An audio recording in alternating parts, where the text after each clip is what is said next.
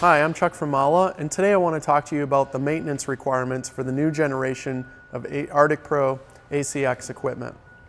We've listened to our customers, and you said to make the service easier, and so we did. So no more screws are required to access maintenance items inside the cabinet. Opening the hood gives you access to the filter dryer located on the left side of the cabinet. Take a spanner wrench here and unscrew the filter dryer when you replace it, you'll want to screw that back on. See the operation manual for torque specs that are required. To replace the vacuum pump oil, start by removing the top filler cap. Set it to the side.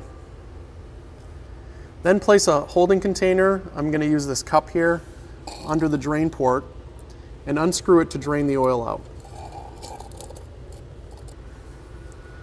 Replace the cap when you're done. Make sure it's tight to prevent leaks.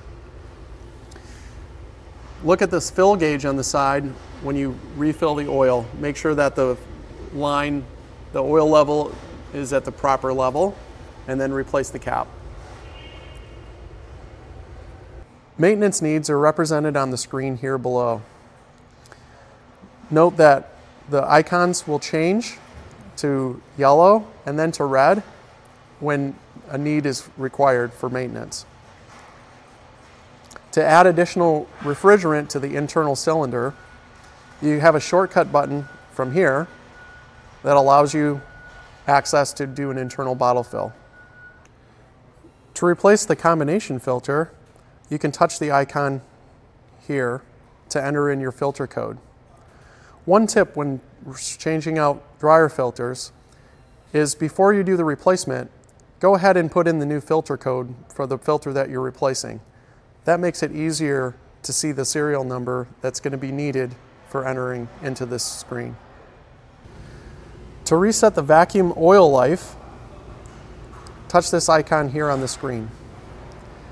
This allows you to reset the counter after you've changed the oil. One additional tip while you're doing maintenance is to inspect the coupler for any signs of wear or any visible damage. Also, while you're at it, inspect the hoses. Make sure they're free from any cuts or nicks.